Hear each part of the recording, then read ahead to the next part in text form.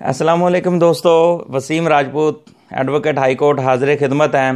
میرے میرے میرے پیارے بہن بھائیوں میرے ینگ وکلا، میرے پاکستان کی قوم، میرے عام شہری بھائی بہنوں، السلام علیکم۔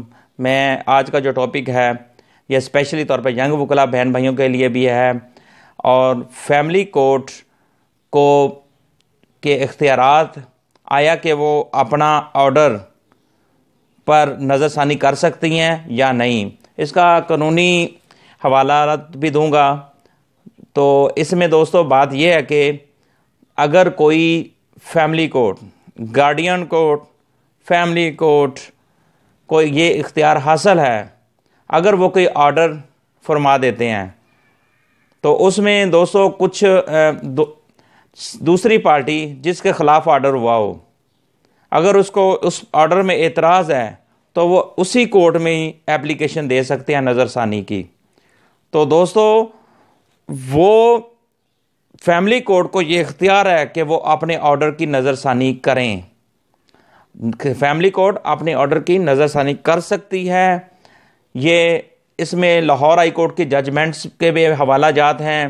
دوستو آنریبل لاہور ہائی کورٹ کی ججمنٹ جو ڈائریکشن فیملی کورٹ کو دی گئی ہیں کہ اگر کوئی فیملی کورٹ اپنا آرڈر کرتی ہیں کہ اگر دوسری پارٹی کو اگر اعتراض ہوتا ہے وہ اپلیکیشن دیتے ہیں کہ اپنے آرڈر پر نظر ثانی فرمائیں جناب، تو آنریبل کورٹ فیملی کورٹ جو ہوتی ہے، اس کا اختیار ہے، اس کی سوابدید ہے کہ وہ اپنا آرڈر کو اس پر نظر ثانی کر کے مناسب حکم کر سکتی ہیں۔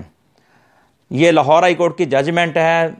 میرے بھائیوں دو ہزار سترہ سی ایل سی دو ہزار سترہ C L C one seven four seven, Lahore high court.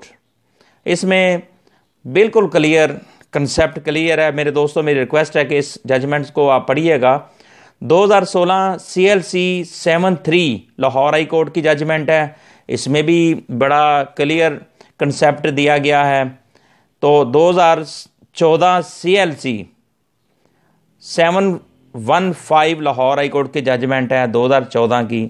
تو دوستو، یہ تین ججمنٹس ہیں سائٹیشن ہے اس میں بالکل کلیئر بتایا گیا کہ فیملی کورٹ کو اختیار ہے کہ وہ اپنے آرڈر پہ نظر ثانی کر سکتی ہیں۔